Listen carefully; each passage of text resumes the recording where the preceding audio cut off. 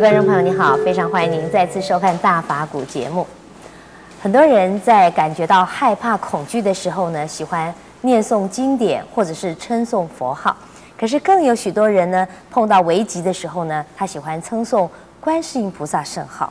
那么，观世音菩萨呢，似乎跟中国人特别的有缘。呃，不管是一般的民间信仰，或者是正信的佛教徒呢，对观世音菩萨都可以说是深信不疑。这其中有什么样的缘故吗？让我们来请教圣严师傅。师傅您好，陈小姐好。师傅啊，我们中国人对这个观世音菩萨的信仰，几乎可以说是非常的深又广啊。呃，几乎任何人，我想都会听过观世音菩萨的名名号，然后很多人都会称颂他的圣号。这其中有没有什么特殊的因缘？呃，这个的确的，呃，我们。曾经听他说啊，说家家弥陀佛，户户观世音，啊，好像家喻户晓啊。嗯。呃，不管是男女老少，呃，都知道有观世音菩萨。这个原因呢，有很几很多种啊。呃，第一，是因为《法华经》呢，在中国。是一部非常重要的经典，呃，持诵的人很多。嗯，那那个《法华经》里边有一品叫做《观世音菩萨普门品》，那这一品呢，本来是《法华经》里的一品，结果呢，呃，把它单独的流传呢，就变成了《观音经》嗯，呃，另外呢，呃，还有一部叫做。呃，千手千眼呐，大悲心陀罗尼经这部经典呢，就是鼓励人 持诵大悲咒。嗯。呃，同样的，也念呢，这个这个菩萨圣号，特别是普门品，就是鼓励人呐，念观世音菩萨的圣号，只要念。菩萨的圣号呢，有求必应的，因为这个大家都很喜欢啊，因为很简单的。啊，另外呢，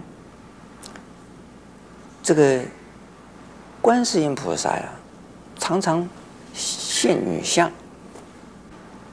其实观音菩萨普门品里边呢，呃，女相之时呢，它的三十三种这个化身之一。呃，《楞严经》里边也有一品，呃，讲到啊，这是观世音菩萨耳根圆通，也是啊，讲到这样谁念的观音菩萨是圣号呢，就能够啊有求必应啊。可是因为在我们中国的历史上，这个画的观音像啊，嗯，在唐朝的时候，多画的是中性。没有说这观音菩萨是妇女像，呃，中性的，不是既不是男性也不是女性，菩萨应该是中性。可是到了中国的宋以后，画的画，这个观音菩萨就常常啊，就看起来就是像女女人像。比如说把观音菩萨称为观音老母，那就是代表着妇女的慈悲。代表着母亲的慈爱。人在苦难的时候，往往都会讲“妈妈”的，就叫喊喊妈。小孩子生起来就会叫的。啊，这个慈母啊，随时都可以啊，呃，保护自己的孩子的。就像小这个小鸡啊，都是跟着母鸡跑，小鸡很少跟公鸡跑，真的的。小鸡多半是跟着母鸡跑，这个。有了危险的时候，母鸡咕咕咕咕咕，嘿，小鸡全部躲到它那个什么羽翼之下，羽翼之下去了。那个人也是一样，人在啊叫天不应、叫地不灵的时候啊，这第一个想到的是母亲。那母亲是个普通的人，那个菩萨就不一样了。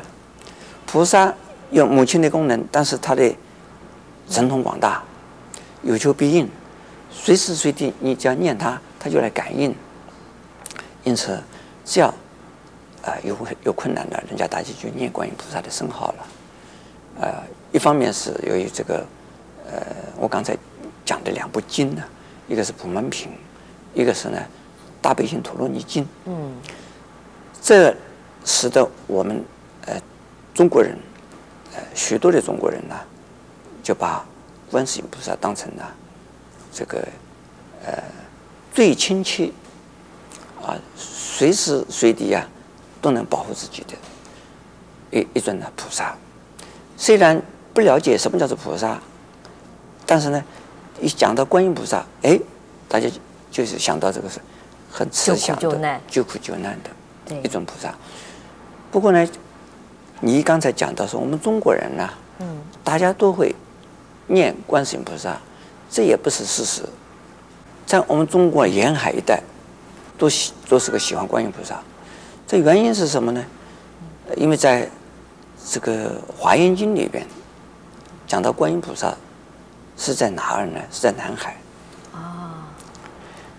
这个在印度的南方的海里边有一个岛叫做啊普陀罗切，这么一个岛。那观音菩萨就在那个岛上面。